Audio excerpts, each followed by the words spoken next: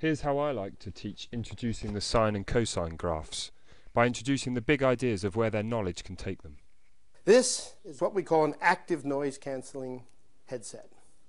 It electronically cancels noise that comes from the outside. And on that flight, the mathematics was done to prove that this could exist.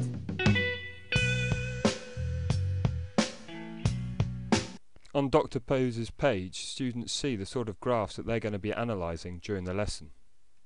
When I returned, I gave those mathematics papers that were done on the flight to our engineering.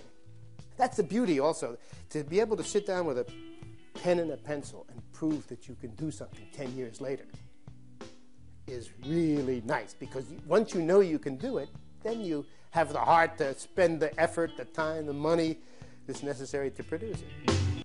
Once students have been inspired by the big idea to have the heart, effort and motivation to pursue the knowledge, we then have really useful software like GeoGebra Applet here that displays how that relates to the unit circle which is described by triangles from where they've seen sine and cosine before and we can see the height changing as the wheel goes round and our position on the Ferris wheel changes.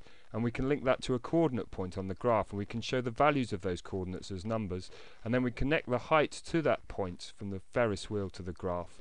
And then we can scale this 50 meters to become equivalent to one unit and so have a regular sine curve that perfectly plots the changing height. And the same for the cosine graph and then students can experiment by themselves to see how the coefficients of that sine curve affect the shape of the graph to try and model that onto the snake that's hiding below.